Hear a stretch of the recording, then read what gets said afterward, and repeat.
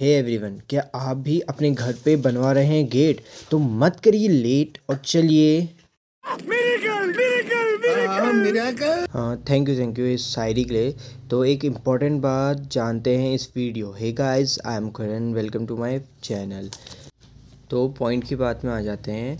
Main gate या कह सकते हैं सिर्फ़ गेट उसमें सबसे इंपॉर्टेंट क्या होता है? उसका बॉर्डर तो बॉर्डर इम्पोर्टेंट क्यों होता है? बॉर्डर इम्पोर्टेंट इसलिए होता है क्योंकि गेट का सारा वेट उसी बॉर्डर पे आता है। तो इस बारे में मैंने वीडियो क्यों बनाई है? हाल ही में अभी मेरे पास एक कस्टमर आया था जिनका मैंने गेट देखा था, वो टूटा था बॉर्डर के वहीं से ही। वहाँ पर अब ऐसा है, किसी वेल्डर ने जोड़ लगाया होगा, जोड़ बढ़िया तरीके से नहीं लगाया था, इसलिए वो टूट गया बॉर्डर का कहना। अब ऐसा है, अगर गेट छोटा है तो बॉर्डर को कभी भी जोड़ में मत लगवाओ ये इम्पोर्टेंट बात।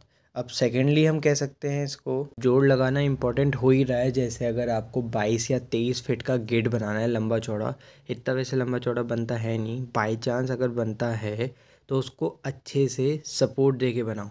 अंदर से या तो पत्ती लगाओ या फिर उसको बढ़िया तरीके से डबल एंड डबल वेल्डिंग करवाओ, क्योंकि उसको अगर आप घिस दोगे, बहुत बढ़िया तरीके से घिस दोगे तो वो कुछ टाइम बाद आने वाले टाइम में टूटेगा ही टूटेगा।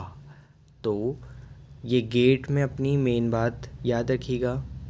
And thank you for watching this video